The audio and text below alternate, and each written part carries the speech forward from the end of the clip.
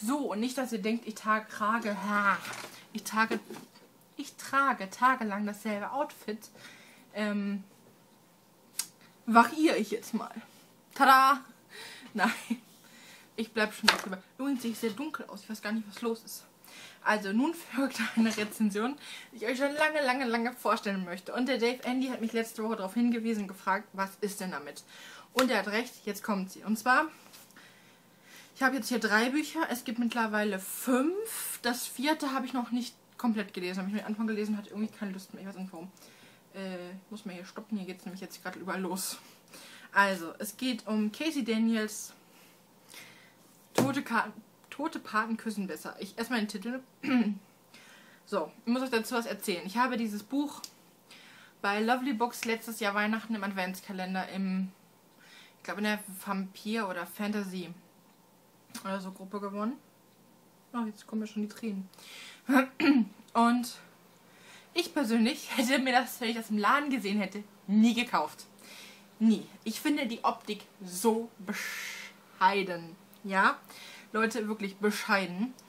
Ähm, nee.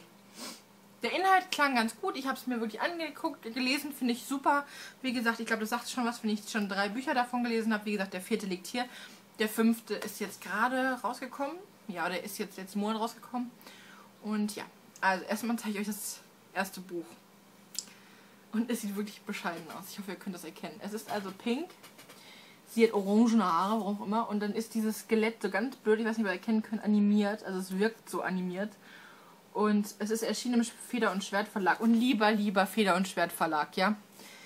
Ich mochte eure alten Charlene Harris ähm, Vampirbücher und auch viele sehen wirklich gut aus. Hier zum Beispiel die, das sind die ähm, Original Feder und Schwert, ich glaube, ihr könnt das gar nicht erkennen. Feder und Schwert, Charlene Harris Bücher von Suki Steakhouse. Wirklich wunderschön.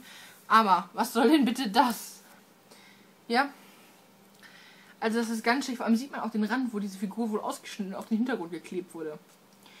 Und hinten drauf soll ein Friedhof oder auch im Hintergrund ein Friedhof abgebildet sein. Dann sieht man kaum. Und es sieht einfach nur hässlich aus. Kosten tut das 9,95. Yep. Taschenbuch, wie gesagt, im Feder- und Schwertverlag erschienen. Ich zeige euch jetzt mal noch zwei andere. Ich weiß gerade nicht, welche Reihenfolge müsste ich dann mal genau gucken. Also hier haben wir... Das Schlimmste ist sowieso das, das Neueste. Ist das das? Ich glaube, das ist das Neue, was ich noch gar nicht gelesen habe. Moment. Ähm...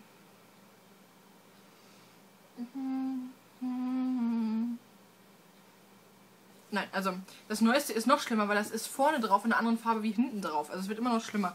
Hier hätten wir sie so. Da finde ich sie jetzt relativ schick noch. Das Skelett ist wieder mal so überhaupt nicht pralle. Ja. Und dann hätten wir noch hier. Ich glaube, das ist der zweite, ich bin mir nicht sicher. Ist auch so semi-hübsch, ehrlich gesagt. Ja, vor allem, weil sie da wirklich orangene Haare hat. Hat sie irgendwie fast drauf. Vor allem guckt euch mal den Unterschied Haarfarbe technisch. Ich hoffe, das könnt ihr erkennen. Zwischen diesen beiden Covern an. Ja, egal. Es soll jetzt um diesen, dieses Buch gehen. Das ist der erste Teil der Reihe. Und zwar geht es um Martin Pepper. Heißt sie nicht? Pepper Martin, so rum. Ähm, eigentlich heißt sie Penelope, aber Pepper wird sie halt genannt. Und Pepper ist eigentlich so Mädel aus gutem Hause, reich und geht nur auf die Uni und studiert Kunst, weil sie einen reichen Ehemann braucht. So, ihr Vater ist Chirurg und dann kommt es wohl raus, dass ihr Vater, naja, die Versicherung beschissen hat. Ihr Vater sitzt im Knast, ihre Mutter ähm, ist irgendwie auch nicht mehr vorhanden und sie muss jetzt Geld verdienen. So, ihr Verlobter trennt sich von ihr, weil er will natürlich jemand aus gutem Hause nicht mit einer Knastvergangenheit oder so, also in der Familie haben. Und sie muss jetzt Geld verdienen. Und die einzige Anstellung, die sie bekommt, ist auf einen Friedhof als Fremdenführerin. Und zwar in... Ähm, das ist wohl auch ein bekannter Friedhof. Ich kannte den überhaupt nicht. Äh, äh, ich schreibe es euch hier hin, wo der Friedhof ist. Ähm, da müsste ich nochmal in Ruhe gucken. Und es ist so, es passiert also sie zeigt so diese berühmten Grabmäler von wegen, das ist ein berühmter Schriftsteller, das ist ein berühmter bla bla bla und halt auch, das ist ein berühmter Mafiaboss. Und sie stößt sich an äh, dieser ähm, Gruft, also diese, gibt es auch diese typischen amerikanischen Gruften mit diesen Säulen und diesem Dreieckhäuschen und so, stößt sich den Kopf. Und plötzlich taucht dieser Mafia-Boss auf. Und erst denkt sie noch, ach komm, das ist ein Schausteller, der verkleidet sich so oder so. Aber sie merkt, es ist wirklich der Mafia-Boss.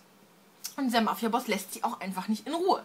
Er möchte, dass sie ähm, ja, das Verbrechen an ihm aufklärt. Wer sie ermordet hat. Nur ist das Verbrechen schon, ich glaube, 50 Jahre oder so her. 30, 50 Jahre. Und ähm, sie will ihn einfach loswerden.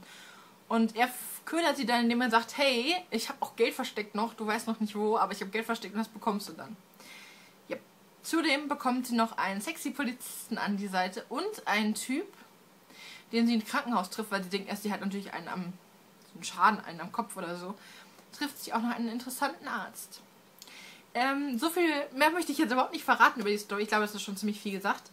Ähm, wir haben dann noch Schriftsteller, einen Rockstar und ich glaube im neuen Buch ist es eine Patientin, aber ich bin nicht so sicher. Und ähm, Pepper ist einfach witzig, spritzig. Ich mag ihren Humor. Ich mag auch ihre Art, weil sie auch wirklich erstmal so teilweise. Na, sie ist nicht so naiv, aber sie äh, steht halt schon manchmal und denkt sich so, hä? Was wir natürlich auch machen würden, wenn ich plötzlich einen Geist sehen würde, würde ich erstmal so machen, äh, ja. Und ähm, was ich ganz toll finde, es geht fast gar nicht um Erotik. Es gibt so prickelnde Momente und ich glaube, es gibt auch im ersten oder zweiten Buch einen Kuss. Erotik ist eher weniger, aber ich mag die Reihe einfach, weil sie humorvoll ist, weil sie lustig ist und es gibt nur ein paar Sachen noch. Schlecht finde ich, Pepper ist ja rothaarig. Also hier ist sie orangehaarig, aber Pepper ist eine rothaarige. Und sie trägt rote Kleidung. Und wer schon mal rothaarig war, weiß, das ist schwierig. Vor allem auch pink ist schwierig mit roten Haaren. Also, weiß ich nicht. Also ich habe mit der Autorin schon mal geschrieben und sie ist super, super nett und sie hat mich witzigerweise zu einer Autogrammstunde eingeladen, aber ich kann nicht mal eben so rüber nach Amerika fliegen. Also ich will schön, aber hat leider nicht funktioniert. Ähm, und ich finde die Cover im Englischen wirklich viel, viel schöner. Ich habe mir schon überlegt, ob ich mir das neue Buch nicht mehr Englisch kaufe, weil ich finde die Cover so wirklich grottenhässlich. Also vielleicht findet ihr sie ja hübsch, ich finde sie unglaublich hässlich.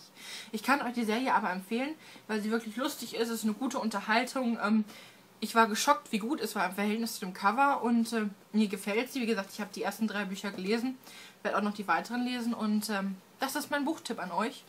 Und äh, das ist mein Video, glaube ich, Nummer 2. Tschüss!